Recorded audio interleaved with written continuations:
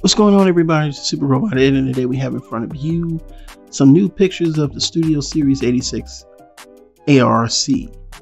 Um, obviously, I don't know what I was getting ready to say, but um, yeah, we've seen it before. Now we're seeing it a few more times here. This time with the names that shall not be named, and of course, you know how they got it. There's no packaging, so we know this is something that's not on on the up and up and legit.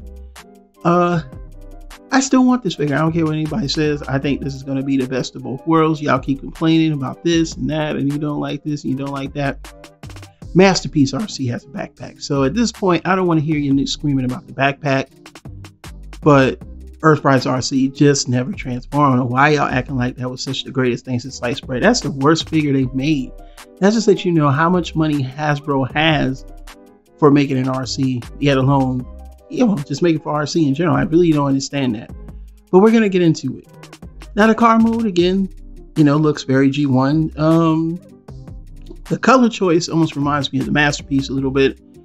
Um, it's still hard to say because, like I said, I didn't watch the video. I only got the screen caps from TFW 2005. But yeah, it does look very G1. We're going to compare it to a few others here. So we have the Cyberverse RC, which basically you know, it's Cyberverse is different. It's a different take on G1 Arcee, but as you can clearly see, it's very similar.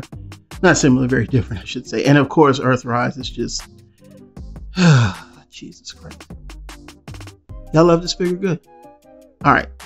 So comparing it to the Legends version, and they're very close. It's just that the shade of paint they use for the Legends version is always richer. Takara always did that with their paints as you can see, the main three, you know, mainline Arcees together, and the Earthrise one just looks idiotically stupid. Now you get to see all four. Like I said, Cyberverse, I just I can't put them in the same category, but I get it because that's the other modern Arcee. And I have to admit, the uh, Studio Series and the Legends looks better. So here's just an overview of the uh, Studio Series 86 version. Again, we've seen this so many times now really nothing new. You know, it's basically a re-engineering of the Studio Series. I mean, excuse me, of the Thrilling 30 with some articulation and different. Uh, I don't know what the word parts here because yeah, the legs are new and different. Um, but the top part is going to really freak you out as we go through the video. And again, once people complain about a backpack, but Earthrise Arcee has like two backpacks. Again, she's like she's going on a trip somewhere. And then, of course, we have the uh, Cyberverse. And like I say, Cyberverse wasn't perfect either, but it was a lot better than Earthrise, in my opinion. But she's very hollow. And as you can see, you can see all four.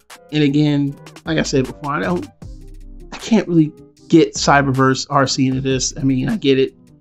And of course, the different backpacks. And again, you know, Earthrise Arcee has that extra, it just looks like an extra backpack. And as you can see from the side, again, Earthrise Arcee, poor Cyberverse. Yeah, because Cyberverse has a weird backpack. And here's some comparisons with the, uh, you know, our normal Earthrise figures and Siege, uh, our, uh, Springer with Earthrise Optimus Prime. And I feel the color is a little muted, but it's very close to what the kind of like the masterpiece. It's kind of in the middle of the masterpiece. But you can see there, I mean, they're all to match. Oddly enough, you get the same guns. Um, it looks like looks like the same guns, so it doesn't look like it's anything or much of a difference. And you can see them from the side; they do the exact same thing, except it looks like the way that they lock on on the side is slightly a little bit different. So the ports might be a little smaller and she still can hold the two sword blades that come with the original Thrilling 30 Arcee. So that's a good thing as well. So if you have those weapons, you want to put them on her, you can do that. And here are the three of them compared together. And I'm sorry, man, this Earthrise Arcee just doesn't cut it. But I do have a problem with Studio Series 86 Arcee, and we're going to talk about that at the end of the video. And yes, the chests are very similar, but there's looks like now the uh, way that the original Thrilling 30 transformed, part of the car mode kind of tucked under the chest and into the car. And this time looks like a totally different transformation, but it's the same parts used. Again, I don't watch their videos. I get the caps from TFW or Seibertron, and I don't know what's going on here, but it looks like there's a difference in transformation. And again, you can see it from the front here. So pretty much there's some, there's definitely some retooling uh, that was done overall. So how do I feel about this figure? It's still better than the Earthrise. It's the best they can do. Hasbro has stated they not going to be putting a lot of money into Arcee. Um, if you want a perfect Arcee, you may have to go third party masterpiece, and I doubt it because a lot of them in the in the main line, the third parties mostly don't they don't come close to even this. It's a whole it's a different take. It's more IDW ish. So your choice now. You know, you can track down uh, Thrilling 30 or Legends, but you're gonna miss out on the modern articulation, or you can get Earthrise if you're stubborn, or you can go and get this one. It is entirely up to you, but I will say, as always, Hasbro paint Hasbro's paint apps are lacking, and it's very lacking on this figure again. You know, but leave your thoughts down in the comments below. Again, my name is Super Robot Ed. We'll see you soon with more news and reviews. Until then, bye bye.